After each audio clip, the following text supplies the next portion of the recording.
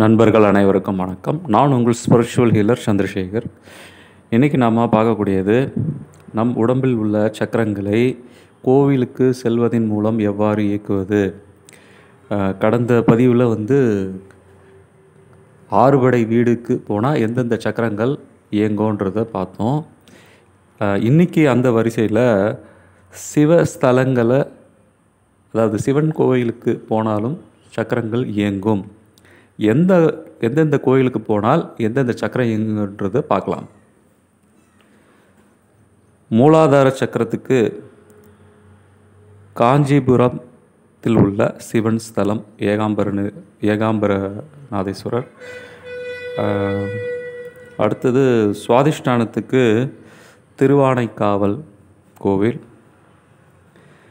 மணிப்பூரகத்துக்கு திருவண்ணாமலை அநாகத சக்கரத்துக்கு காளஹஸ்தி விசுக்திக்கு சிதம்பரம் ஆக்ஞா சக்கரத்துக்கு காசி. ஸோ இந்த வரிசையில் சிவஸ்தலங்களை வழிபாடு செய்யும்போது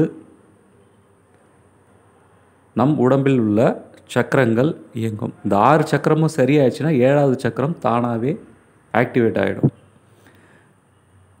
சரி. நண்பர்கள் இதை வாய்ப்பு கிடைக்கிறவங்க இதை பயன்படுத்தி பயன்பெறணுன்றது பிரார்த்திச்சுக்கிறேன். தேங்க்யூ